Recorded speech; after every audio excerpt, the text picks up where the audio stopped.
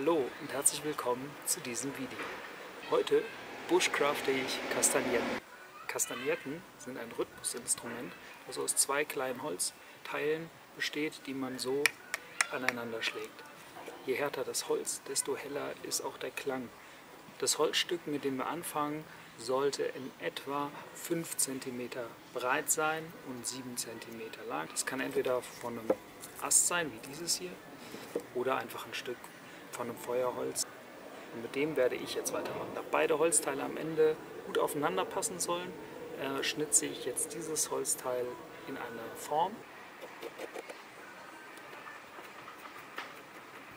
Das Ganze sieht jetzt so aus. Ich werde das jetzt mit dem Messer schnitzen. Statt dem Messer kann man aber auch gut eine Holzfeile nehmen oder mit der Säge erstmal ein bisschen vorsägen.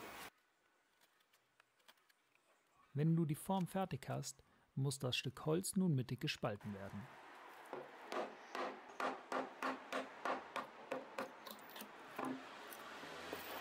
Nun musst du beide Innenseiten glatt schnitzen.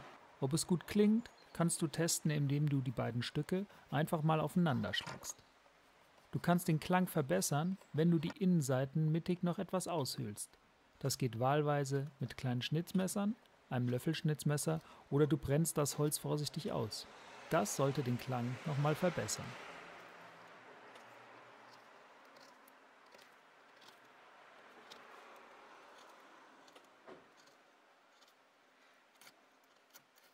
Wenn dir das Video bis hierhin gefallen hat, freue ich mich natürlich über eine positive Bewertung, ein Abo und die aktivierte Glocke.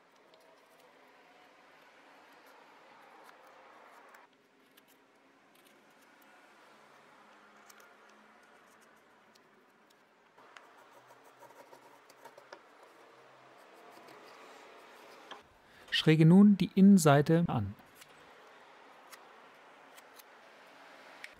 Im nächsten Schritt bohrst du unten in möglichst großem Abstand zwei Löcher mit einer Ahle oder einem Handbohrer. Das wiederholst du auch bei der anderen Seite.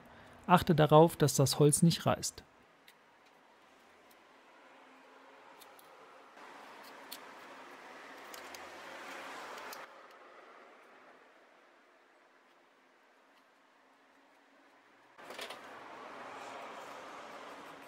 Eine Anleitung zum Nachbauen findest du auf meiner Homepage abenteueroase.de. Ich habe sie dir in der Caption verlinkt.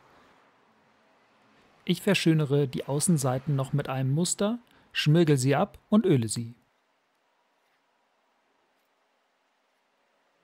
Hast du Ideen für andere Bushcraft-Instrumente? Dann schreib sie gerne in die Kommentare. Vielleicht kann ich davon in Zukunft etwas umsetzen.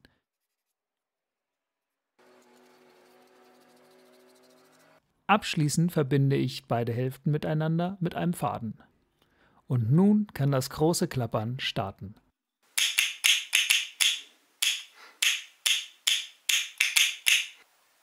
Vielen Dank fürs Zusehen und bis zum nächsten Mal.